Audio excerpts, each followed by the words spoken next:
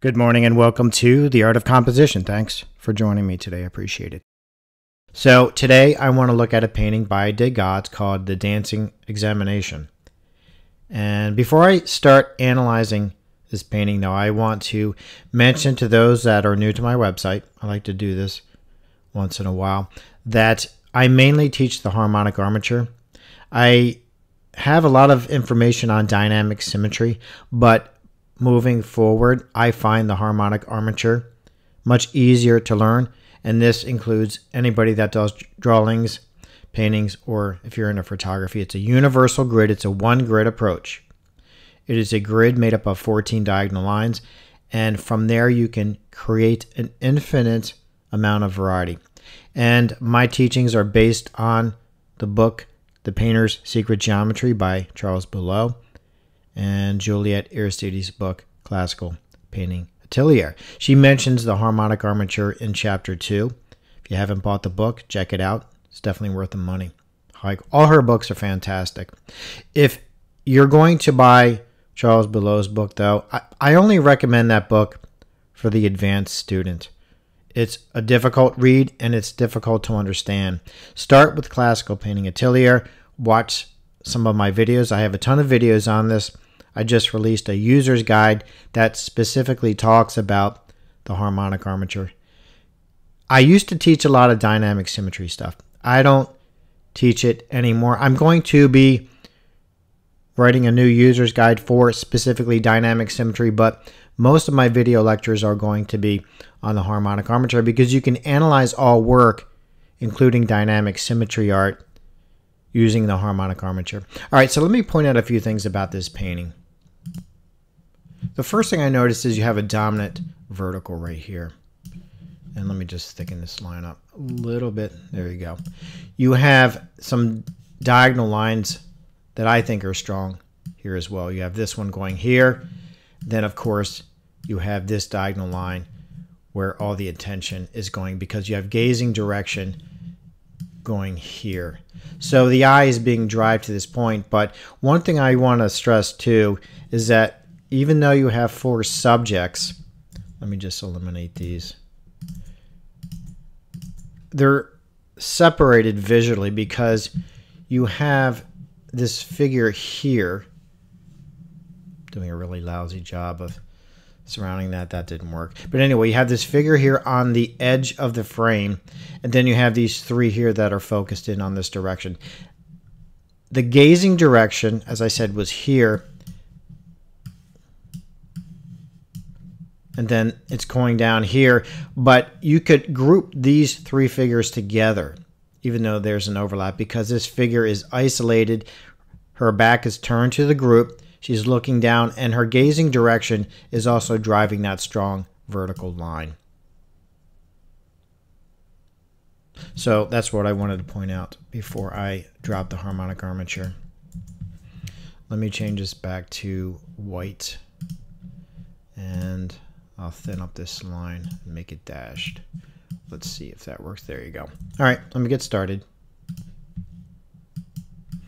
I like to mention the direction I'm going with this website for those that are new. If I sound repetitive, I apologize for that. But I get a lot of new artists and photographers on my website every day, so I just want to occasionally stress the fact. Not only that, because we're coming up on a new year, I've made some drastic changes to what I'm doing. It's been it's been an interesting three or four years for me because getting this information across is incredibly difficult. And like I said, it started with dynamic symmetry, but the problem with dynamic symmetry, it's really difficult to teach online. And because you're using a group of various root rectangles, you're not, it's hard, it's very specific. For example, you can't just go to AC Moore and grab a canvas off the shelf and start using dynamic symmetry because dynamic symmetry is dealing with specific sized rectangles and they're called root rectangles. Whereas with the harmonic armature, it doesn't matter the size of the rectangle that you're designing in. And the other problem with the with dynamic symmetry, with photography is most art most photographers are shooting in a 1.5 format and you can't effectively apply dynamic symmetry to that format.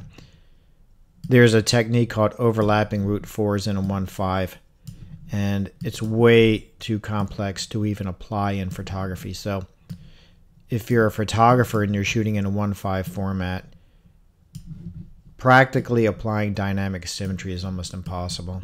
So I'm not even going to teach that anymore. If you're into photography, use the harmonic armature to analyze your photographs. It's much more universal and it's more effective. As I'm drawing this grid out, you can see a lot of these diagonal lines that I highlighted in blue come about, and I'll show you what I mean.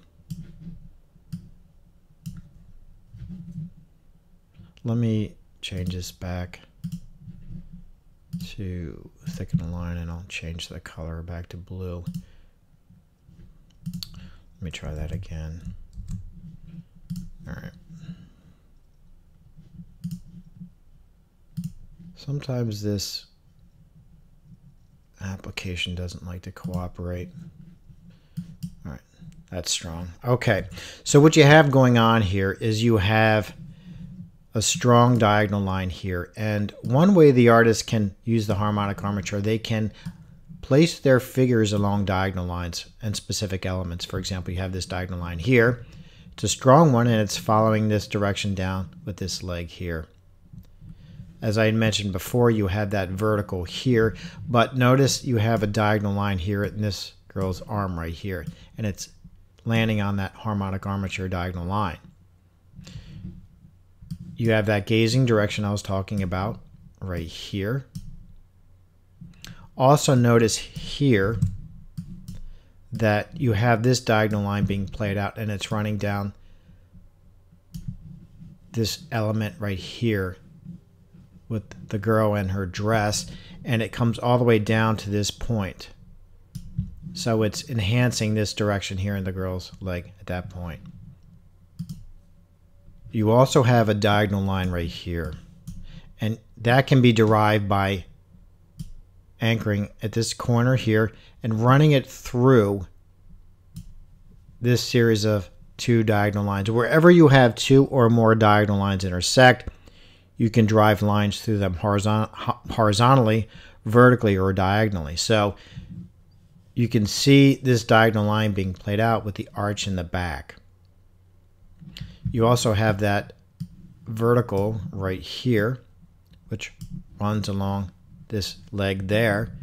And I'll bring this up to this point here because it also locks this face in the position. That's called a coincidence. Things line up in paintings that are highly designed. They're not randomly placing these elements. One thing I want to stress today, if you are new to this website, design's not intuitive. It's not a thing. A highly trained artist is not going to go to the canvas and place elements based on their feelings. It does not work, period. It is a myth of the 20th century. It's not a thing. If you want to create great art and you're drawing and painting, you have to understand this armature and you have to understand how to use it. Memorize these lines. It's not hard. And start out simple. Start with a few lines. That's what Aristides recommends in her book, Classical Painting Atelier. If you're familiar with the rule of thirds, the rule of thirds is derived from this grid. So, something to keep in mind if you're new to my website. You also have a vertical here where these diagonal lines intersect and notice how it runs down this leg. But also notice here in the foot, the angle of the foot, how it's outlining, how it's tracing the harmonic armature diagonal lines. This stuff is not random. You have a horizontal line here that locks in the bottom of the dress.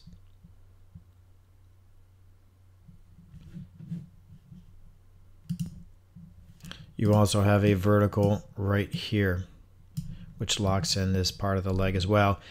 And you have a horizontal line right there. This is all I'm going to draw today, but it's important to point these things out. Also notice with this diagonal line, when I bring this all the way down, it lines up with this girl's gazing direction. And this diagonal line is also being played out. Boy, this application is not cooperating today. but you have this going on as well.